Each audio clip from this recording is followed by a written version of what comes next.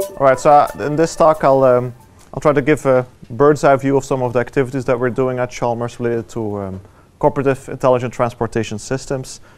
And uh, I'm here just as a spokesperson. I, represent the work of many, many people across different divisions in our department. So what is the future of transportation? One way to look at this is, is as follows. And this is really from the point of view of a city. Um, a city such as Gothenburg, where uh, more and more people are going to the city. Right? People are migrating to Sweden. People are migrating from the countryside to the city. So cities are densifying. At the same time, um, the transportation infrastructure, the transportation system is not changing very much.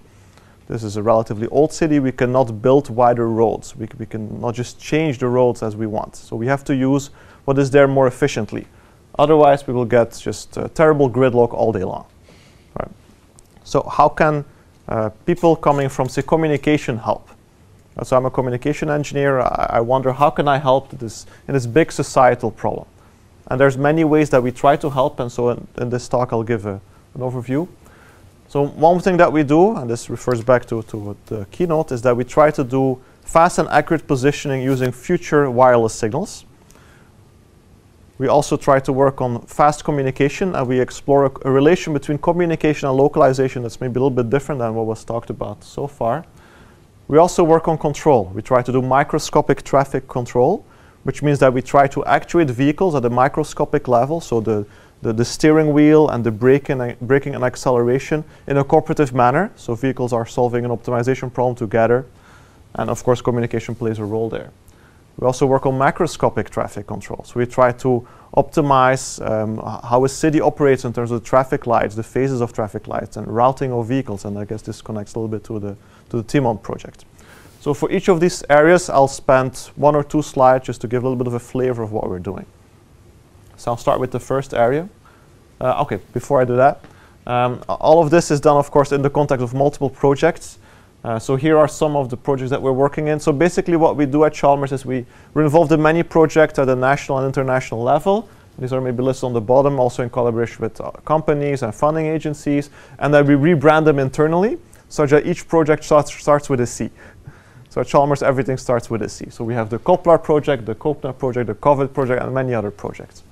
Uh, so in COPPLAR, for instance, we're trying to demonstrate at AstaZero, our testing ground, which some of you, I think, will visit on Wednesday, cooperation between just two vehicles uh, for shared perception and shared control.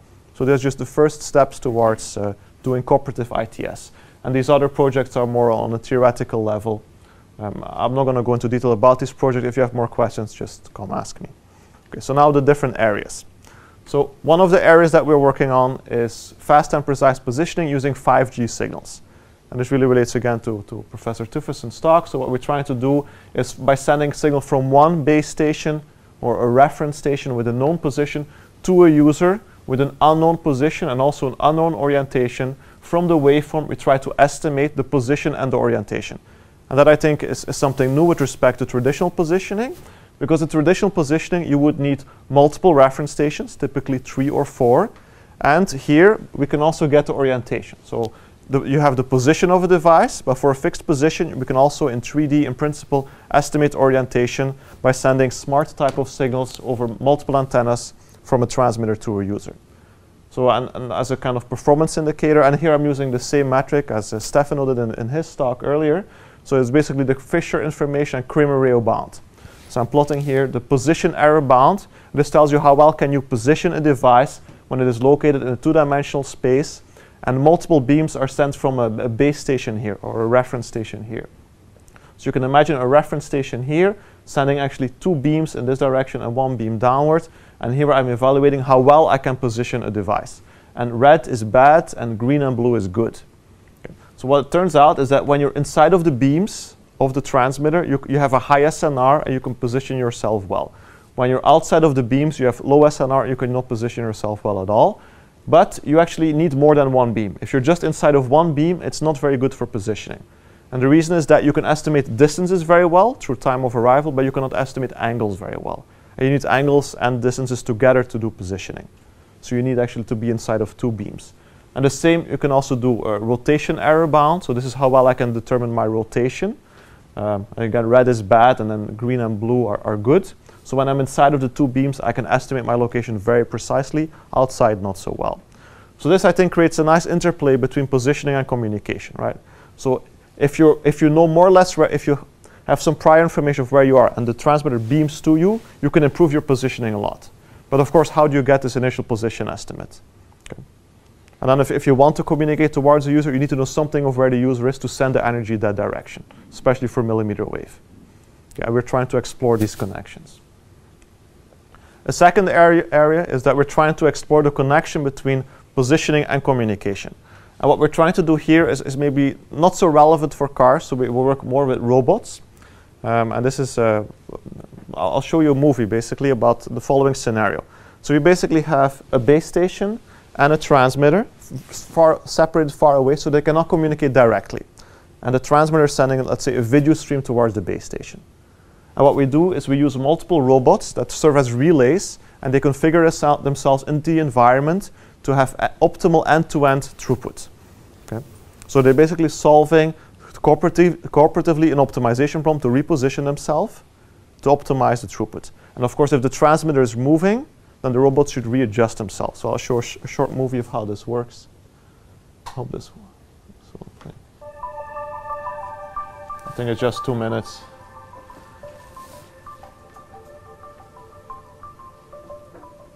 This, this serves as the base station. It's not a real base station, but it's uh, the transmitter. And then the robots, they will find their optimal locations based on, on the propagation channel in principle.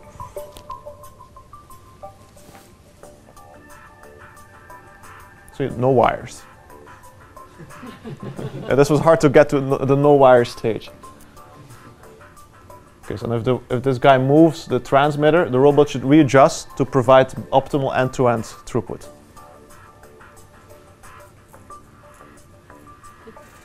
Okay, these are some of the technical details here. So in reality, we didn't optimize end-to-end throughput. We did, we did a simple uh, optimization problem, but it just served as a proof of concept. And though, even though our facilities may seem very nice here at Chalmers, we're actually relatively poor at an individual researcher level. So we do our, uh, our experiments in uh, places that are not intended for this. But you know. Okay, so this was an example of how communication and localization connect in a way that's maybe not so obvious. And I, I, cannot see a direct application for vehicles, right? You do not want to position your vehicles in a new way just to optimize your, your communication, but uh, something to think about. Um, another connection that we're exploring is uh, beaming towards a certain user. So this is here a car. Uh, you have some prior information of where the car is, and then you want to beam signals towards that car. And based on the amount of prior information you have, what you can do is you can reduce the number of beams that you need to send. So a millimeter wave, how two devices communicate is as follows. You have many antennas here, so you can send a very narrow beam. Right? But if you don't know where the, the receiver is, you cannot use that very narrow beam yet. You have to first figure out where the receiver is, more or less. So you would first send basically a bunch of broad beams, and then the receiver would report, ah, the, the second beam was the best one. And then you, you will narrow your search you send a number of narrower beams, and then the receiver says, ah, this, this, first one was the best one. And you refine and you refine and you refine, and this takes some time. But of course, if you have some prior position information of the receiver, then you, then you have some implied angle information of the receiver, and you can just narrow your search to a certain spatial region. So as an example here, you have the distance of the car from the base station, and this is how much time it takes to do channel estimation. And what you see is that when you don't have any prior information, the time is fixed because you need to send the, the broad beams, narrower and narrower beams until you've pinpointed the user. If you have some prior information, especially when the user is very, very far away, you can have a very narrow angle of departure region to which you send the beams. So you can do the, the, the pairing of two nodes much, much faster than without location information. This is uh, another way that location information can help in a 5G millimeter wave communication. Here everything is line of sight and kind of super benign, but it shows the idea. Uh, this is the third area, microscopic traffic control. So here we work with the people from control theory to solve optimization problems for multiple cars. So an example would be that you have two cars or multiple cars approaching an intersection, and then they need to cross this intersection in a safe and optimal manner. Okay, and once you think about optimal, you can think about formulating an optimization problem. Okay, so, so this comes from the control community. Basically, they would say, I want to minimize a per vehicle cost, so I sum over all the vehicles, for each vehicle, I would have a cost over a certain time window. And the cost uh, includes the position or the state of the vehicle and also some control actions. And you can have different objectives, right? So one car could really care about having a very smooth drive, so not accelerate or, or brake too much. Another car could really care only about fuel efficiency. Another car will have wants to have a fun ride, maybe just brake and uh, accelerate all the time. You can do whatever you want here. Okay, so each car has their own objective, and you have constraints for each of the cars. So these are like the dynamics of the cars, and also how much you can brake and accelerate at, at any given time. And in addition, you also have collision avoidance constraints. Cars cannot hit the car in front, they cannot hit the car from the other road. Right? And these co uh, collision avoidance constraints, they result in coupling of the optimization problems for each of the vehicles, and these need to be resolved. Right? And you could do this either through implicit communication, as we do now when we drive. Right? We look at the other car, we, we reason about what they're going to do, and then we make a decision. Or you can do it through explicit communication. And once you have autonomous vehicles and car-to-car -car communication, you can do this explicit communication and thus explicit coordination. Uh, I should also point out that here you have the state of the vehicles, and this state may not be known precisely. Right? So maybe a car has a good idea of where it is itself, but not where all the cars are, are around them. And this information is to be communicated between cars. So communication plays multiple roles here. Okay. Communication will be used to collect state information communication will be used to set up this, this optimization problem. Right? This needs to be agreed on by all the cars. Communication will be used to solve this optimization problem, and then communication will be used to report the solution to all of the cars, so they all agree. So there's a big burden here on the communication subsystem. I will split this. So um, as an example of, of how this would work, so you could think of the following scenario where you have two cars that are starting a certain distance away from an intersection on orthogonal roads. So what I'm plotting here is the, the position of the first vehicle on its road, so in a one-dimensional space, the position of the other vehicle on its road in a one-dimensional space, and they want to cross to the intersection. And this, this space here is the intersection. It's written as a block because in the, this two-dimensional space it will just be a block. And the both cars, they start same distance away from the intersection with exactly the same speed. So if they don't do anything, well, they, they will collide. So we run this optimization problem from the control community Uh, or from our colleagues from the control group, and then you get something like this. Okay, so the controller, which is now, for this case, residing in the intersection itself, it's a central controller, receives information from the vehicles. Okay, it knows something wrong is going to happen. It solves this optimization problem, and then it gives commands to each of the cars. So this is the acceleration of the cars.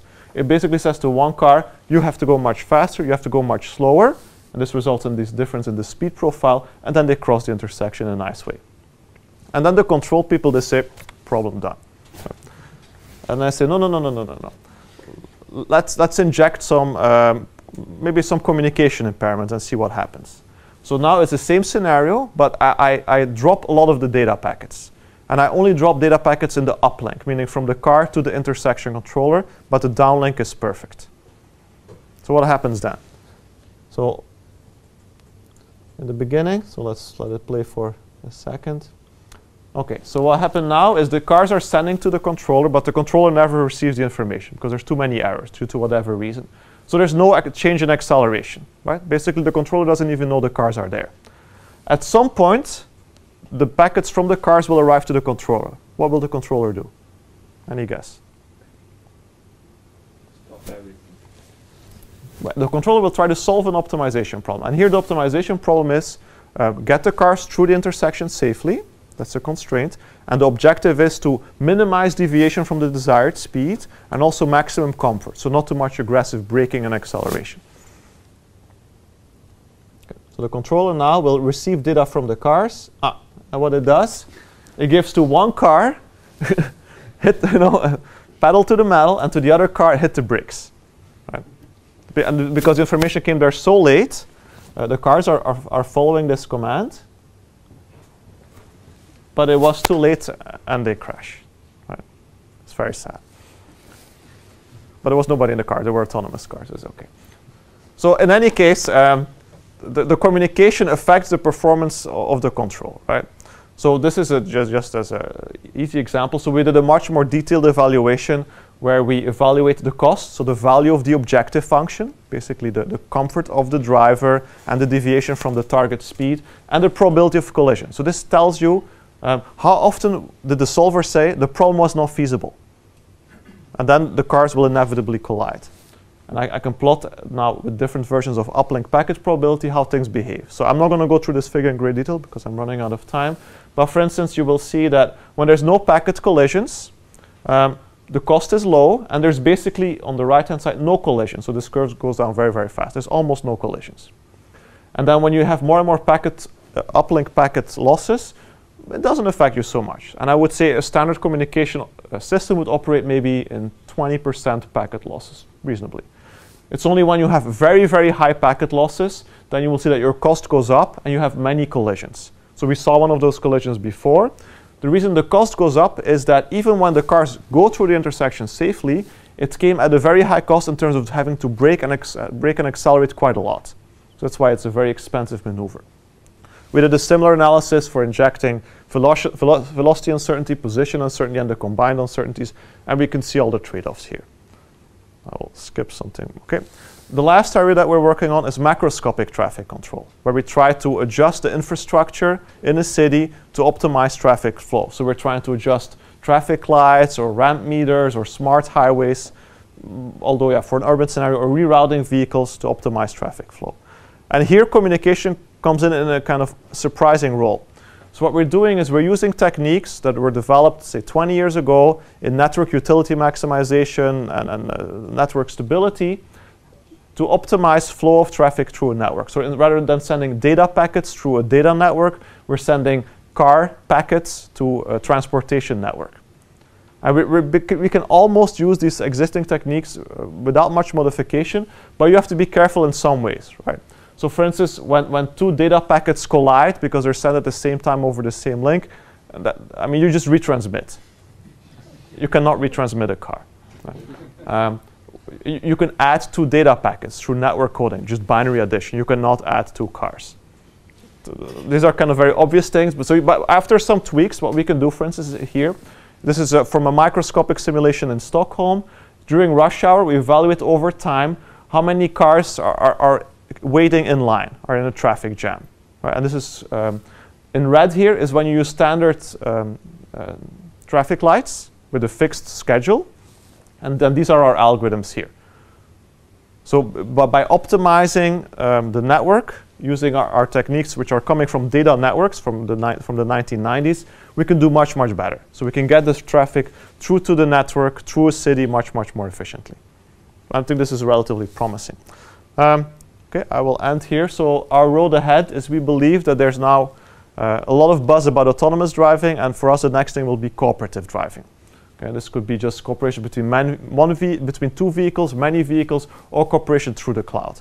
In order to solve problems in this area, uh, we need to step out of our own individual domains. So I'm a communication theorist, but I go to control conference and signal processing conference, and I want to learn about all of these developments in those conferences. So that, that's why it's exciting for me to be here at Ivy. If you want to know more about what we're doing, these are all the faculty that I'm connected to in one hub in this area. And if you want me to you know, uh, connect you to them, please let me know. And if you want to know more about what we, what we do, this is a, um, a YouTube uh, page where I have a lot of videos about each of the researchers that I, I, I work with, uh, and they describe in one or two minutes what they're doing. So this can give you more of an idea of our activities. Okay, thank you. Thank you.